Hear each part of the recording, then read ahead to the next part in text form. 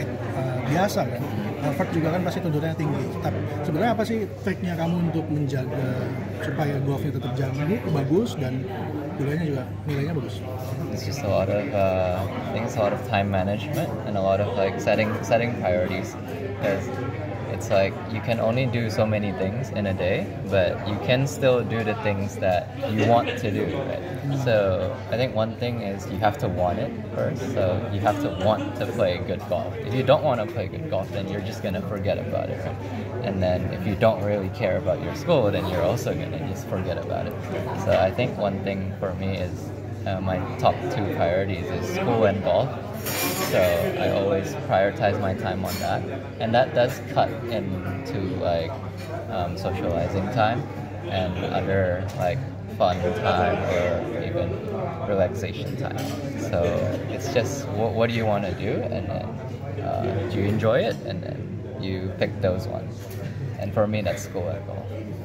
Uh, di satu sisi juga soal apa namanya kamu juga dituntut untuk apa ya ikut di NCAA segala macam kan dan tapi uh, ada nggak sih hal yang kamu harapkan bisa kamu pelajari dari kesempatan di event ini yang mungkin bisa dibawa ke sana? Oh yeah, definitely. Ini kan um, this event is big. All the players are good, just like an NCAA field.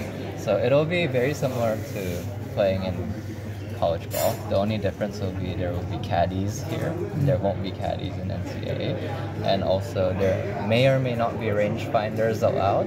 Depends on the tournament rules. But outside of that, the pressure will be very similar.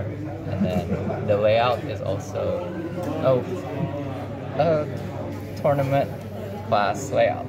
So it'll be similar, just in the pro sort of style.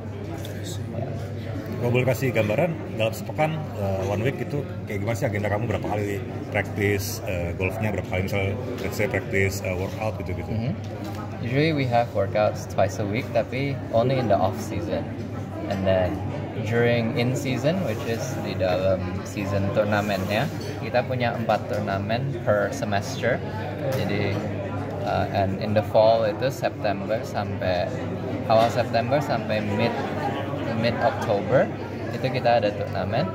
And during the season we practice six days a week. Kita biasanya latihannya jam 3 sampai jam 6 jam 7 gitu. And then the rest of the day is whatever classes you have.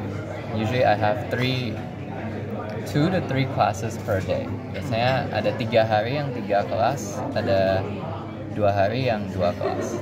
So you have to work around that Perbedaan mendasar dari golf di Amerika dan Indonesia sendiri menurut kamu apa ya?